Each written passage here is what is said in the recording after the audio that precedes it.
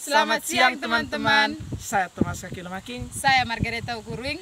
Kami dari kelas 11 MIA 3 Smas Frater Don Bosco Leboleba.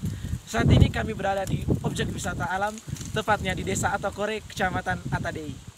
Nah teman-teman, untuk mengetahui lebih lanjut, ayo kita simak penjelasan berikut ini. Lembata merupakan salah satu kabupaten di Provinsi Nusa Tenggara Timur. Di tanah ini ditemukan begitu banyak destinasi wisata alam. Salah satunya dapur alam atau karun di desa Atokore, kecamatan Atadei.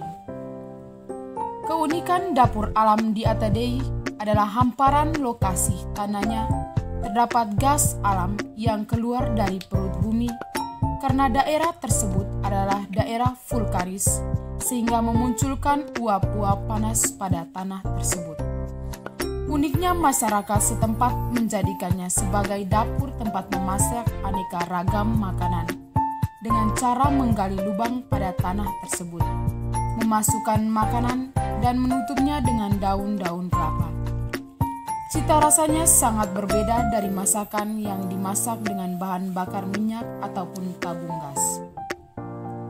Berdasarkan penelitian secara ilmiah, karun atau dapur alam adalah bekas kawah gunung berapi.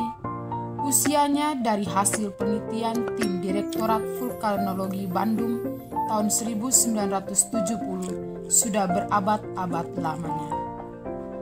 Panas dapur alam bersuhu 40 derajat Celcius. Dapur alam itu dikeramatkan oleh penduduk Watuwawer, terutama suku Watuwawer. Alasan dapur alam itu dikeramatkan karena adanya cerita rakyat atau legenda Watuwawer bahwa tempat itu adalah tempat di mana munculnya nenek moyang suku Watuwawer pertama kali, yaitu nenek moyang mereka adalah Lagadon. Demikian penjelasan tentang dapur alam di Desa Atokore, Kecamatan. Jika teman-teman ingin mengunjungi Pulau Lembata, jangan lupa sempatkan diri untuk mengunjungi dapur alam di Desa. Ya, terima kasih teman-teman karena sudah menonton video kami. Semoga apa yang kami berikan hari ini dapat bermanfaat buat teman-teman sekalian. Selamat siang.